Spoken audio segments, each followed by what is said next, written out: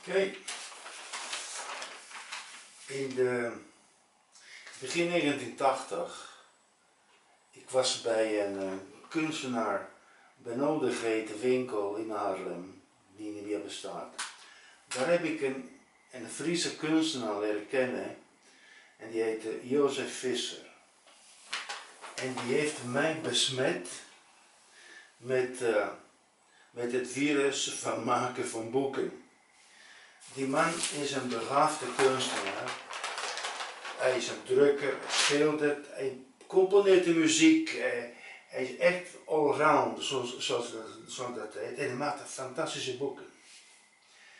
Alleen daar weten wij naar mensen van.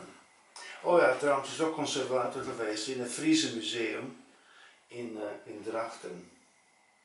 Hoe heet die? Uh, Drachten, ja. Maar goed. En ik, had, uh, ik had een tekening gemaakt op ander geschrift papier van 70 mal 100 centimeter. Ik had hem gevraagd hoe je dat kon doen tot een boeken binden. En hij zegt, nou, ik wil wel voor jou doen. Natuurlijk, ik heb gezegd, ja graag. Ik heb hem betaald voor. Maar hij heeft een professionele iets gemaakt. Want hij heeft ook een drukkerij, heeft hij.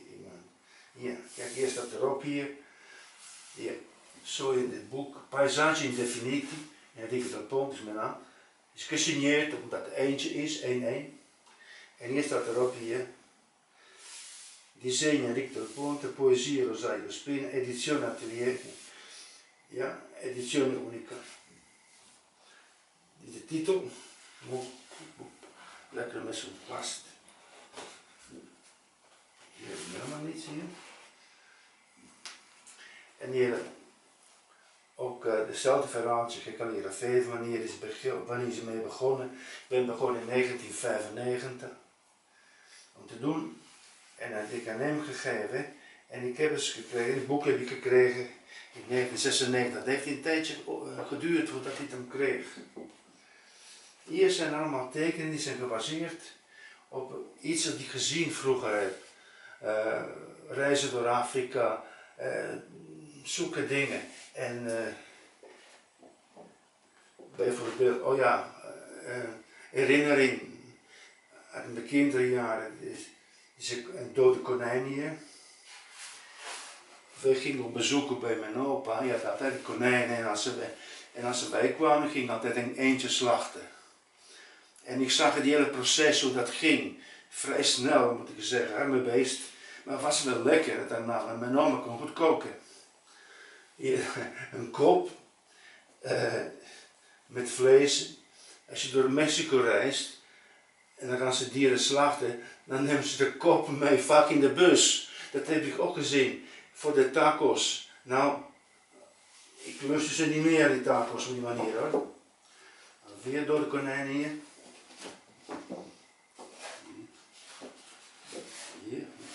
landschappen hier zo. Uh, is gemaakt met Japanse inkt.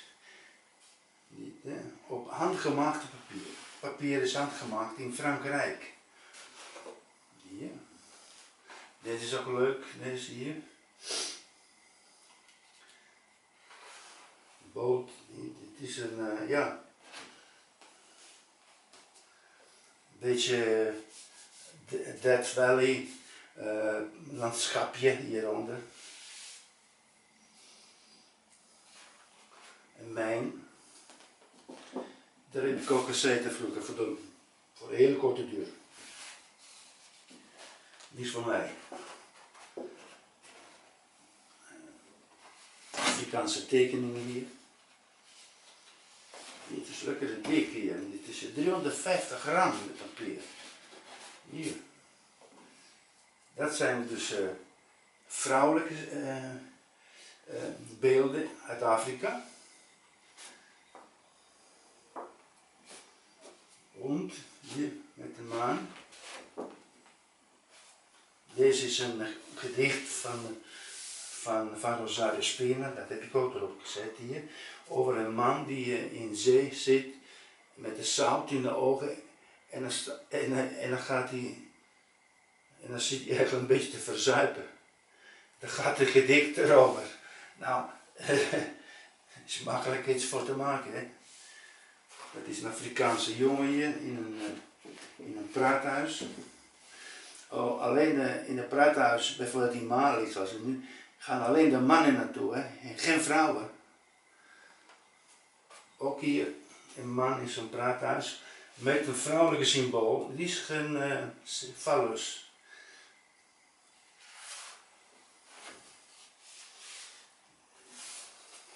Hier hebben we hier een, een hele eenvoudige tekening van Andy Warhol.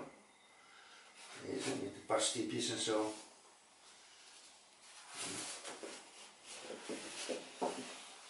Hier hebben we dus een, uh, een, uh, een boom met een figuur die, die staat te wachten op een meisje die niet komt.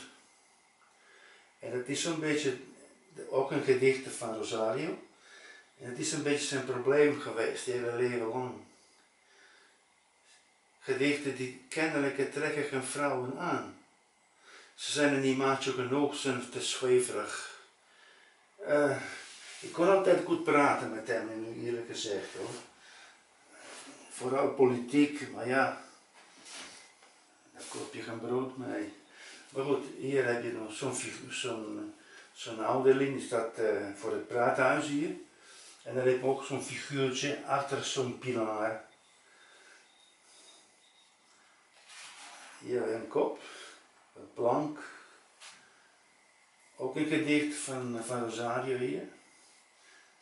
En dan hebben we hier zo'n leeuwenkop, zoals in Italië van zit fonteinen. Die spugen altijd water. En deze hier, dus 1 meter, die een man in een praathuis, hier is het dus in, in Afrikaan. En hier zijn al die, pilaren. Want die, die, die daken zijn een vrije oog. Ze zijn pakweg 3, 4 meter dik. Om om de temperatuur van de zon tegen te houden. Want de rond is altijd fris. Boom met de zeven manen. Vogeltje. En, eh, en deze, dit is die hele compositie, op het, witte gedeelte die niet getekend is. De figuur is zo'n zo'n kop hier. En uh, deze, deze takken hier. Nou, oh ja, ja weer zo'n zo'n uh, Noorse landschap. Dus Noordkaap. Nogmaals, ik had uh, deze gedaan voordat ik naar de Noordkaap ging. Maar de maf is dat het, het, eigenlijk, ik voelde me meteen thuis daar. Ik, ik, ik landschap. Dat is het, hè. Goed, dat is het het afgelopen. Nou, het is niet te tillen, dit boekje. Vrij zwaar. Vrij hoog.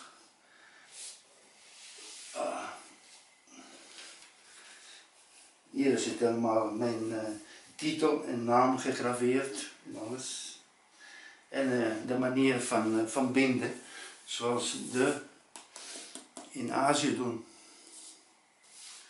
Dat was het.